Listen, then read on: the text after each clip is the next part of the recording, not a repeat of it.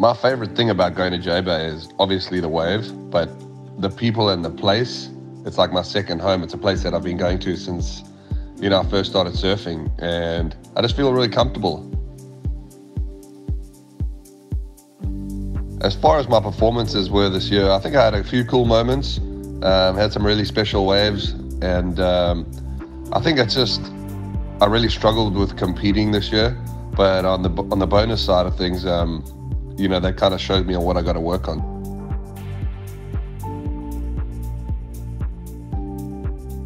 Having my family at J Bay is incredible. The fact that I'm in a position to be able to share something that I love so much with them um, is a real blessing, and uh, I wouldn't change that for the world.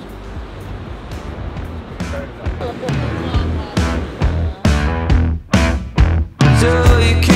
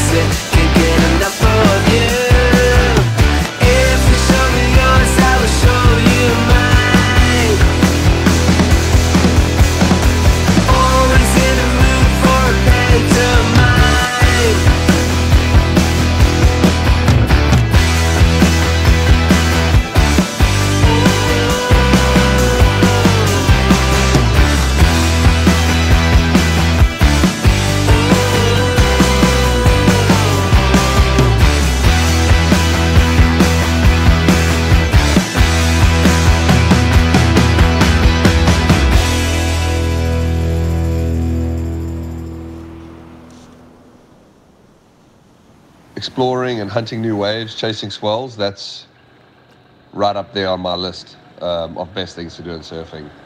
I think that's kind of the, the essence of surfing and uh, where the real stoke is. When I arrive at a new spot and the waves are on, it's all systems go.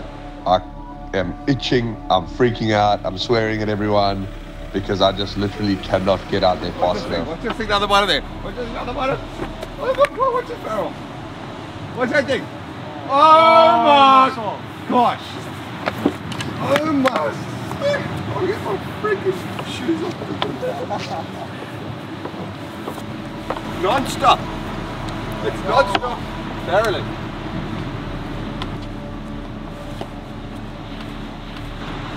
Bro, I've missed like five barrels already.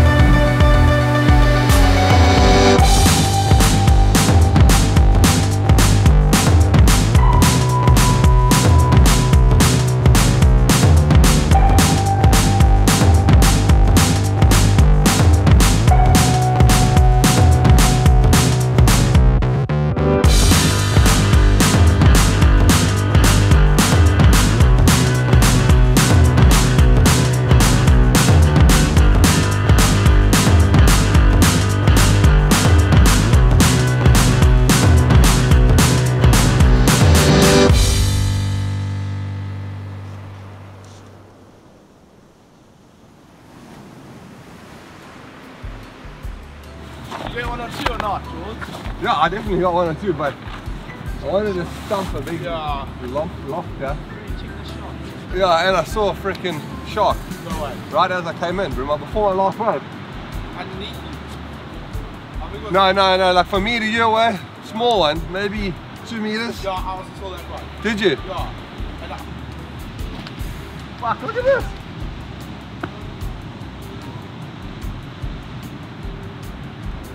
Not bad.